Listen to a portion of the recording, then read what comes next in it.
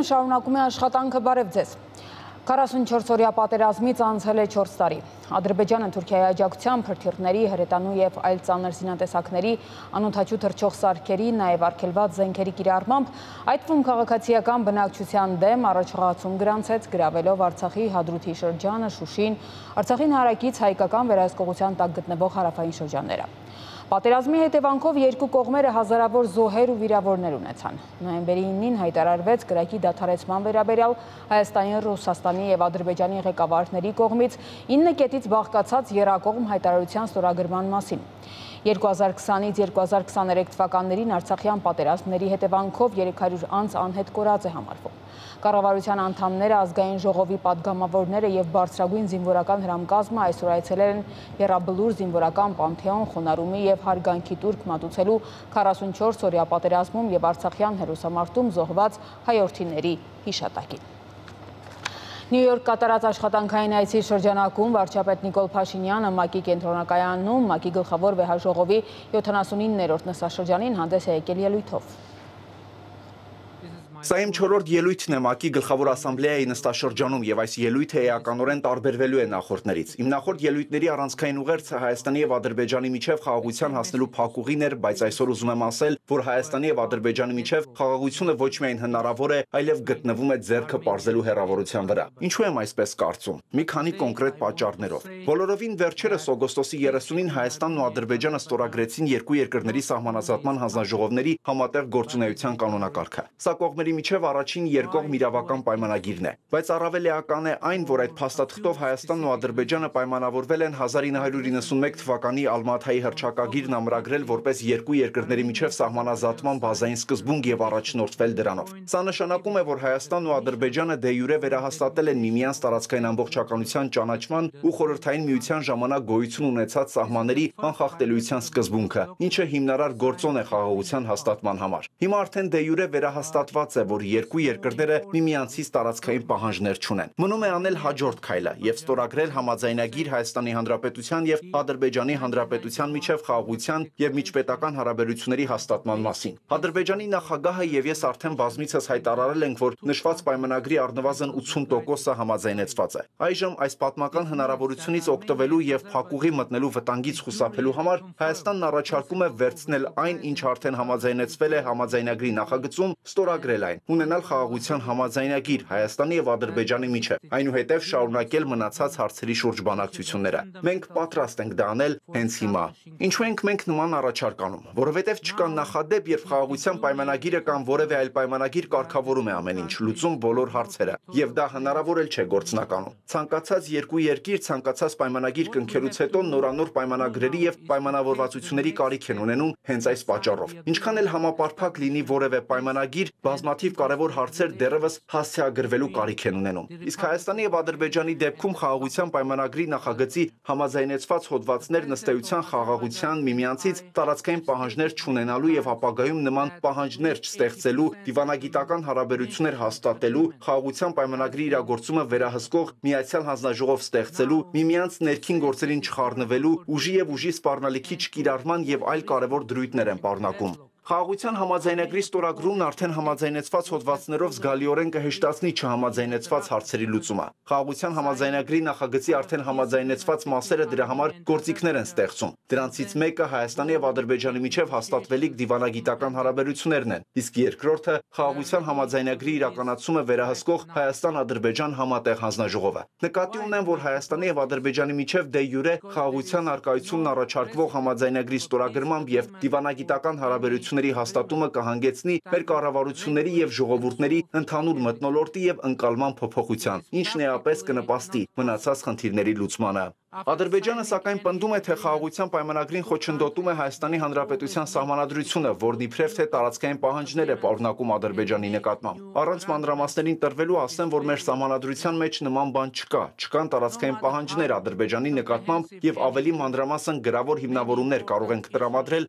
այս հարցով հետաքրքրվող մեր բոլոր միջազգային գործընկերներին։ Ասեմ ավելին, Ադրբեջանի սահմանադրությունն է տարածքային պահանջներ պարունակում Հայաստանի Հանրապետության նկատմամբ եւ սրա մասին էլ կարող ենք գրավոր հիմնավորում հիմնավորումներ ներկայացնել հարցով հետաքրքրվող մեր բոլոր միջազգային գործընկերներին։ Բայց ուշադրություն դարձրեք։ Մենք Ադրբեջանի սահմանադրությունը խաղաղության պայմանագրի խոչընդոտ չենք համարում այն པարզ պատճառով, որ խաղաղության պայմանագրի նախագծի համաձայնեցված մասում ունենք ձևակերպում, որ լուծում է խնդիրը եւ այդ ձևակերպումը հետեւյալն է։ Կողմերից ոչ մեկը չի կարող վկայակոչել իր ներքին օրենսդրության դրույթները, որպես հիմնավորում սույն համաձայնագրի չկատարման համար։ Հետևաբար պայմանագրի ստորագրումը կհասցեագրի թե Հայաստանի, թե Ադրբեջանի մտավախությունները եւ իրավական երաշխիքներ կստեղծի դրանց հիմնարար հասցեագրման համար։ Երբ խաղաղության պայմանագրի համաձայնեցված տեքստը դիտարկում ենք Հայաստանի Հանրապետության սահմանադրությանը համապատասխանելու տեսանկյունից, ստանում ենք հետևյալ պատկերը։ Համաձայն Հայաստանի սահմանադրության սահմանադրությանը հակասող համաձայնագրերը չեն կարող վավերացվել եւ ինչպես մնացած դեպքերում Ադրբեջանի հետ խաղաղության պայմանագիրը ստորագրելուց հետո մենք այն պետք է ուղարկենք սահմանադրական դատարան, որպեսի վերջինս parzի համապատասխանությունը Հայաստանի Հանրապետության սահմանադրությանը։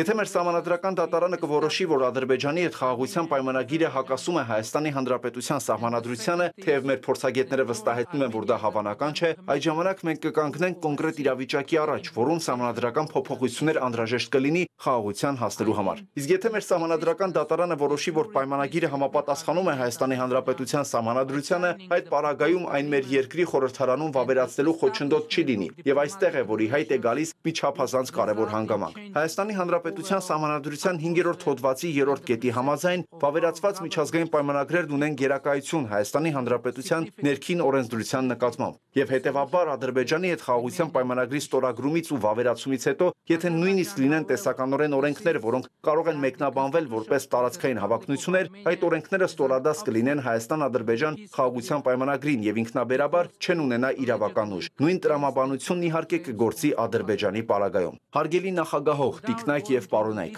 ահա տեսնում եք, որ խաղաղությունն այնքան մոտ է եւ մեզ հարկավոր է ընդամենը ձեռքը մեկնել եւ վերցնել այն։ Դա հեշտ չէ ոչ Ադրբեջանի, ոչ Հայաստանի համար, որովհետեւ մեզնից յուրաքանչյուրն ունի իր ճշմարտությունը եւ այդ ճշմարտությունների շուրջ բանավեճը բերել է թշնամության զոհերի պատերազմների։ Ցավը շատ խորն է եւ մեծ, բայց հիմա մենք պիտի կենտրոնանանք խաղաղության վրա, որովհետեւ խաղաղությունն է միակ ճշմարտությունը, որը հասկանալի է թե Ադրբեջանի եւ թե Հայաստանի ժողովուրդներին։ Այդ ճշմարտությունը կբացի բոլորիս աչքերը, կփակի թշնամության աղբյուրները եւ բոլորիս հայացքները կուղի դեպի ապագա։ Տիկնակ եւ պարոնայք, այդ ապագային է միտված նաեւ Հայաստանի Հանրապետության կառավարության խաղաղության խաչմերուկ նախագիծը, որի նպատակը ոչ միայն Հայաստանի եւ Ադրբեջանի միջև ավտոմոբիլային, երկաթուղային եւ այլ հաղորդակցությունների բացելն է, այլև Հայաստանի, Ադրբեջանի, Թուրքիայի եւ ողջ տարածաշրջանի միջև կապի ապահովումը, ինչպես նաեւ խողովակաշարերի եւ մալուխների անցման եւ ի վերջո մարդկանց միջև շփումների հնարավորություններ ստեղծելը, ինչը կարևորագույն եւ առանցքային գործոն է խաղաղության համար։ Խաղաղության եւ զարգացման առանցքային գործոն է նաեւ այն, որ այդ ամենը տեղի ունենա երկրների ինքնիշխանության, իրավազորության, տարածքային ամբողջականության հարգմամբ, հավասարության եւ փոխադարձության սկզբունքի հիման վրա։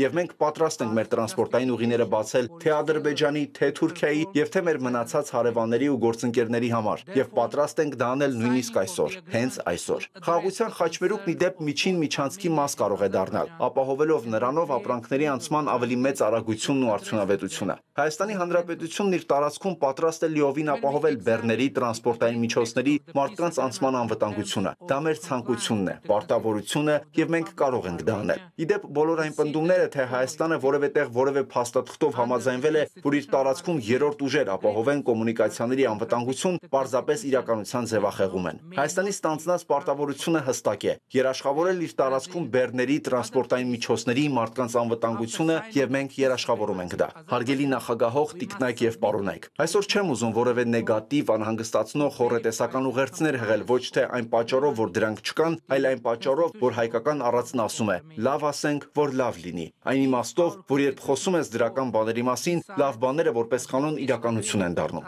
Չեմ բացառում, որ նույն առածը կա եւ դա նույնքան իրենցն են համարում Ադրբեջանում, Թուրքիայում, Իրանում, Վրաստանում, աշխարհի այլ երկրներում։ Բայց լավ ասենք, որ լավ լինին, իրականությունից կտրված դատարկ խոսքեր շռայլելու մասին չէ։ Դրա համար պետք է աշխատել, երբեմն ծանր որոշումներ կայացնել։ Իմ ելույթի մեջ ի ցույց դրեցի բոլոր այն հանգամանքները, որոնք հիմք են տալիս այս հարգարժան լսարանի արչև այս ամբիոնից լավն ասելու, որ լավ լինի։ Եվ եթե հիմնվենք այդ հանգամանքների վրա, ապա լավ բաներ տեղի կունենան։ Սկիզբ դնելով բացասականը գեներացնող հանգամանքների նվազեցման գործընթացին։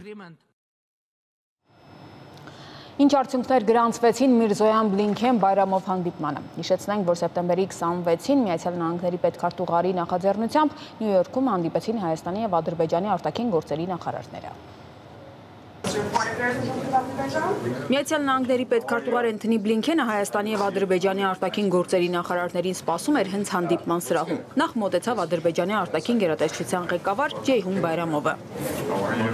Ապա միմյանց են ողջունում Հայաստանի արտաքին գործերի նախարար Արարատ Միրզոյանն ու Միացյալ Նահանգների պետքարտուղար Էնթոնի Բլինքենը։ Եվս մեկ րոպե տեսախցիկների արչև եւ հանդիպումն արդեն ընթանում է փակ դռների հետևում։ Սա է ստանի նրանց երկրորդ հանդիպումն էր ամերիկյան հարթակում։ Նախորդը եղել էր հուլիսին։ Ի վերջո ինչ արդյունքներով ավարտվեց հանդիպումը։ Դրանից հետո արտաքին գործերի նախարարության տարածած հաղորդագրությունում այսպիսի ձևակերպում է.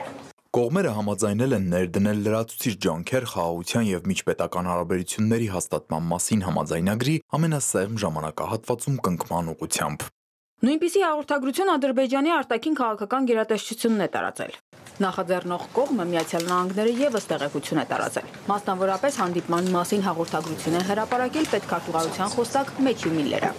Պետքարտուղար Բլինքենը գովել է երկու նախարարներին այն առաջընթացի կապակցությամբ, որ Հայաստանը եւ Ադրբեջանը ձեռք են բերել երկարատև եւ արժանապատիվ խաղաղության հասնելու ուղղությամբ եւ խրախուսել է երկու երկրների շարունակական առաջընթացը համաձայնագիրը հնարավորինս շուտ ավարտելու համար։ Պետքարտուղարն ընդգծել է, որ խաղաղության համաձայնագիրը կավելացնի տարածաշրջանի կայունությունն ու բարգավաճումը։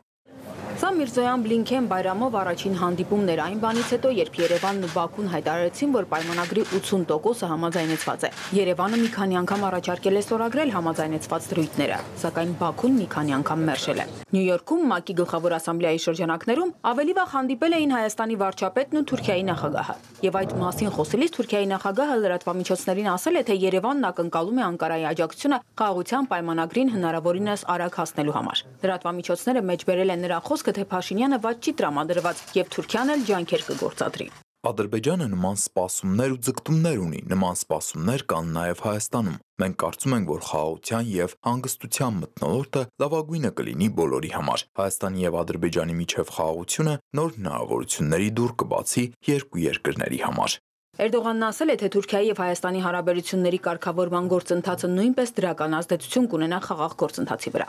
Քրիստիան Լագուլյան, Հորիզոն։ Ազգային ժողովի աշխատանքի եւ սոցիալական հարցերի մշտական հանձնաժողովի այսօրվա արտահերտ նիստում երկրորդ ընթերցմամբ քննարկվել ու դրական եզրակացություն են ստացել մի շարք օրենսդրական նախաձեռնություններ։ Հայաստանի աշխատանքային օրենսգրքում լրացում եւ փոփոխություն կատարելու մասին օրենքի նախագիծը ներկայացրել է Արդարադատության նախարարի տեղակալ Արմենուհի Հարությունյանը։ Նոր նախագծով առաջարկվում են հարկադիր պարապուրդի կարգավիճակին վերաբերող նոր կարգավորումներ հարկադիր պարապորտը դա այն ժամանակահատվածը պետք է լինի, երբ անձը հարկադիր պարապ է, այսինքն չի կարող աշխատել։ Այս դեպքերում երբեմն եղել այնպիսի իրավիճակ, երբ անձը անցել է իր նախորդ աշխատանքից ազատվելու պարագայում եւ վիճարկելու դեպքում արդյոք օրինաչափ էր իր ազատումը թե ոչ, անցել է մեկ այլ աշխատանքի, բաղուց աշխատում է, սակայն հարկադիր պարապորտը հաշվարկվել է նաեւ այն ժամանակահատվածի համար, երբ տվյալ անձը արդեն իսկ ունեցել է այլ աշխատանք եւ հաճախ նաեւ ավելի բարձր վարձատրվող կատարվող աշխատանք։ Այս դեպքերը կանոնակարգելու համար լրացում է կատարվել 265-րդ հոդվածում, ըստ որի նախատեսվել է, որ հարկադիր պարապորտի ժամանակահատվածում աշխատողի կողմից այլ գործատուի մոտ նոր աշխատանքի անցնելու դեպքում տվյալ ժամանակահատվածի համար հարկադիր պարապորտի համար վճարվելու է նախկին աշխատանքի համար վճարված վերջին 9 ամսվա աշխատավարձով չափի գումար, իհարկե բացառությամբ այն դեպքերի, երբ նախորդ գործատուի մոտ 6 ամսից պակաս է աշխատել անձը, այդ դեպքում այդ 6 ամս ամսվա հաշվարկային գումարը։ Սա վերաբերելի չի նաև այն դեպքերին, որ իրապես պետք է փոխհատուցվի նաև չվերականգնելու վերաբեր աշխատանքում չվերականգնելու համար փոխհատուցումը, որը նախկինի պես շարունակում է մնալ 12 ամսյա միջին աշխատավարձի կտրվածքով։ Ամեն դեպքում ես կարծում եմ, որ մենք մի հետ օրենսդրական մոնիթորինգ ունենք անելու, ինչպես էս նորմի փոփոխությունը ազդեց ընդհանրապես գործատուների վարկագծի վրա, վերանայելու ազատումների հետ կապված իրենց ուրեմն գործողությունների պատշաճ պատշաճություն է եւ արդյոք մենք սրանով կարողանում ենք նաեւ դատաների որոշ չափով բեռնաթափել, հաշվի առնելով նու ինքը ավելի այսպես կանխարգելող նորմի նշանակություն ունի։ Այս նորմի անհրաժեշտություն չի բխում բացարձակապես դատարանների բեռնաթափման անհրաժեշտությունից, որովհետև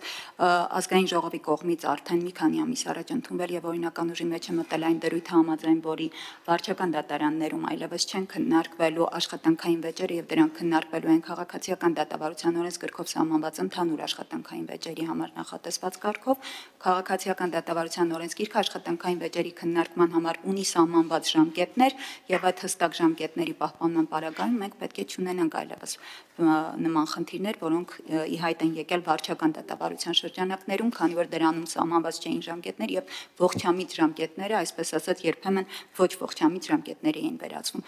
Այս նախագիծը նպատակ ունի բեռնաթափելու դատարանները, այս նախագիծը նպատակ ունի ուղակի հստակեցնելու հարկադիր պարապորտի համար սահմանված ժամանակահատվածը եւ իրական պարապորտ ունենալու հատվածը։ Պետական եկամուտների կոմիտեն բացահայտել է ավելի քան 17 միլիարդ դրամի ստվերային շրջանառության դեպք մանրամասները տեսանյութում։ Պետական եկամուտների կոմիտեի հետաքնության եւ օպերատիվ հետախուզության վարչությունը ժամանակակից տեղեկատվական տեխնոլոգիաների կիրառմամբ հարկերը վճարելուց խուսափելու դեպքերը բացահայտելու նպատակով 2024 թվականի հուլիս-սեպտեմբեր ամիսների ընթացքում ձեռնարկել է 97 օպերատիվ հետախուզական միջոցառում։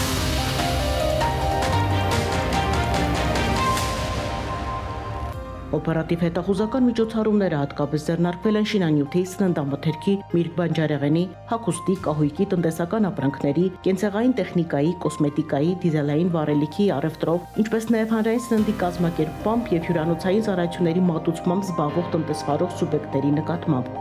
Ձեռնարկված օպերատիվ հետախուզական միջոցառումների շրջանակում տնտեսվարող սուբյեկտների գործունեության հասցեներում արկա համակարգիչների, սերվերային համակարգերի եւ սկզբնական հաշվապահական հաշվառմանը վերաբերող այլ գրիչների հետ ազոտմամբ հայտնաբերվել է շուրջ 17.2 միլիարդ դրամի ստվերային շրջանառություն, իսկ թաքցված հարկի գումարը կազմել է շուրջ 4.4 միլիարդ դրամ, որից շուրջ 800 միլիոն դրամը տնտեսվարող սուբյեկտների կողմից արդեն իսկ վերականգնվել է պետական բյուջե։ Համապատասխան հիմքերի արկայության պարագայում հաղորդումներ են ներկայացվել Հայաստանի Հանրապետության քննչական կոմիտե, նախաձեռնվել են քրեական վարույթներ։ Ներկայումս միջոցներ են ձեռնարկվում պետությանը պատճառված վնասի վերջնական չափը հստակեցնելու եւ այն պետական բյուջե վերականգնելու ուղղությամբ։ Պետական եկամուտների կոմիտեի տեղեկատվության եւ հասարակայնության հետ կապերի բաժին։